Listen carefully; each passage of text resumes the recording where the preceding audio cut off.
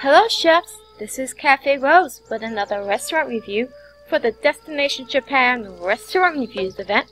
Today's restaurant review is Zeight. Let's start the tour. And let me zoom out so I can see everything. Oops, moved over to the side. Alright, this is pretty. I love it, love it, love it, love it. Very nice. Okay, let's start in the center. Over here. Beautiful, beautiful palm tree fountain. I love it. Look at that. I love what you did with the Torii Gate. And look at the little sleeping panda. Love these little water tiles. And look at those from the garden event. Those trees. So pretty. Love it. Okay, over here, your pets. Look at the water tiles. I like the water tiles there. And your flamingo fountain. And over here, it's a beautiful little walkway. You go up into the restaurant. You sit down, you look at the waterfall, the flamingo fountain, and the loungers, and you get a little food over here. So nice. Oh, there's the sushi. The sushi station. So nice. I did that too at my restaurant. I took out the sushi station. So pretty. Right, there's your restaurant sign. Very nice. There's that Japanese statue, that robot statue. I love it. Over here, you have to enter into another area to sit down and eat. I love it. Love these little green, these little hedge, uh, brown hedge, hedges, I think.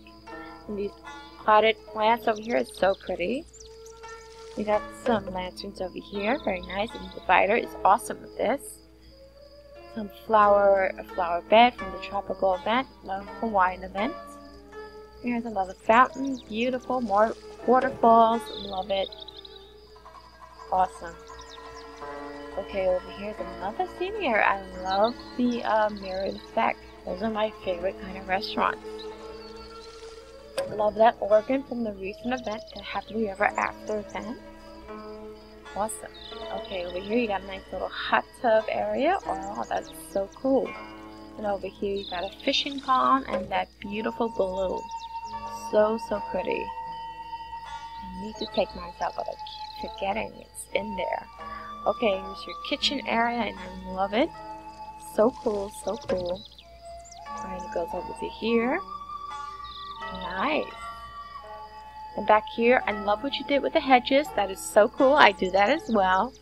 Your crops, your farm animals, your bushes, and your trees. I did the exact same thing. So cool.